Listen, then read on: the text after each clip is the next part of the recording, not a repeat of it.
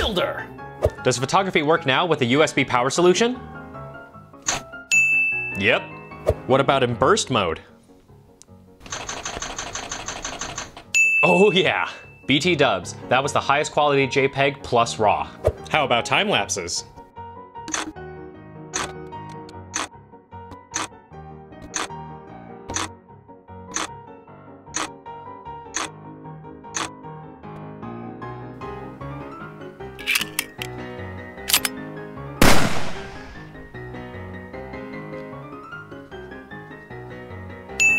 Looks good. To make this work, go into your menu, make sure you're in the photography tab, go down to silent mode, make sure it's off, make sure your shutter is set to electronic shutter, and there you go. Done, roll that intro. What's up everybody? You are watching Too Long Didn't Read Filmmaker where the answers comes first, the reasons come last, but we are constantly and always still learning. So a couple months ago, I reviewed a USB powered solution which allows you to power your GH5, GH4 with a USB power bank solution. But one of the things that did not work was photography. And of course, some people that love to do time lapses, and obviously if they have to do event photography, they were kind of bummed that it didn't work. And me too as well. I'm not a big photographer, obviously, but you know, time lapses, when you're looking at Breaking Bad, they used a lot of time lapse video to show the passage of time, so on and so forth. And it was just a feature that I wish would actually work.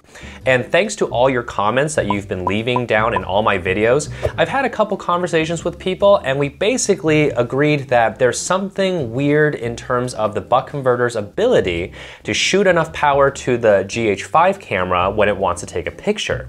And upon closer inspection, when I looked at the official Panasonic AC battery uh, solution, basically it says it can output up to 2.5 amps at 8.4 volts.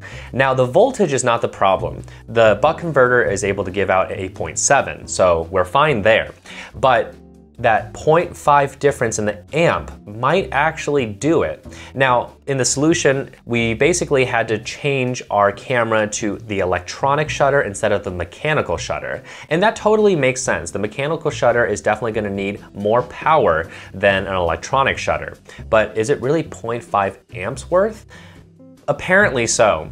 So this fix, you basically have to go into your photography settings, not your video settings, but your photography settings, turn your silent mode off, then change the shutter to electronic shutter, and then you can take pictures. And then if you go to silent mode, you can still take pictures. If your silent mode is off and you have it on mechanical shutter, but then you change it to the silent mode on, you can't take photos. So this is like very, very specific in terms of how you have to do it.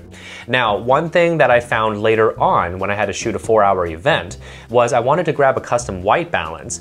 And when I went to go get the custom white balance with a USB power solution on, it didn't work. And I was like, whoa, this is not good. But good thing I had some batteries. So I popped in a battery, got the white balance, took it back out, and then proceeded to shoot the entire four hour event with my USB powered solution. So here's the fix for that. Again, you have to go into photography mode and you have to make sure that you're set to electronic shutter, uh, electronic shutter. And then when you go back into video mode, you have to be on silent mode in order to take a white balance.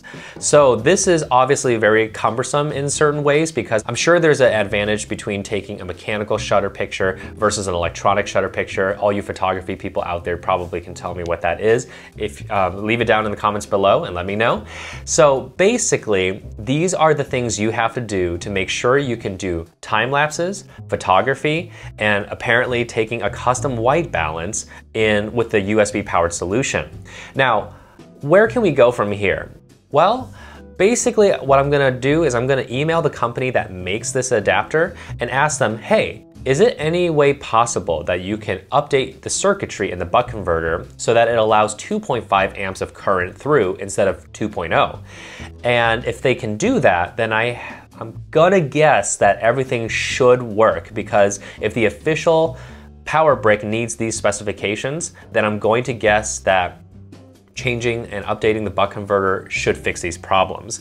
Now, if that is the case, then it is super important that you get this Anker with a 3 amp output from the USB power um, from the USB power port because again, you need to make sure you don't dip under what it needs. However, we did have another conversation and that USB power is usually regulated somehow in terms of how the chip inside is working.